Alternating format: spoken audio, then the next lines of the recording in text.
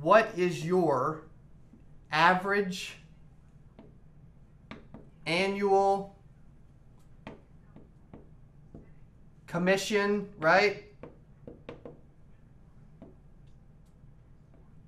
Per sale. So if if let's just see, right? Let's just let's just see what your average annual commission is, right? Let's just say that it's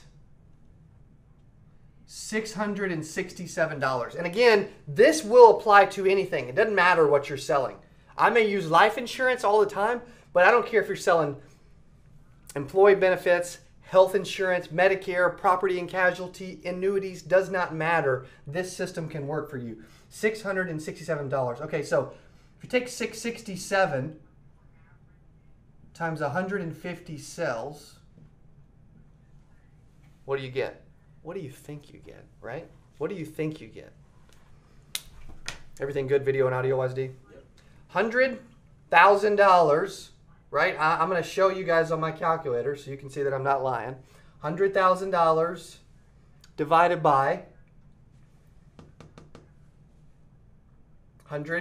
150 cells.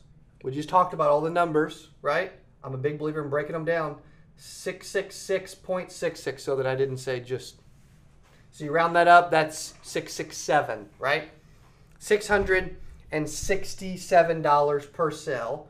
But you've got to figure out what yours is. And the reason I say figure out what yours is is because you need to be taking 100K divided by whatever your average cell is, right?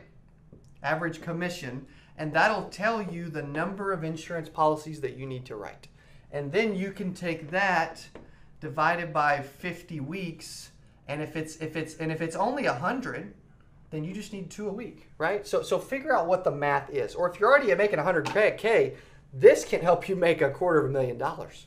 No doubt about it.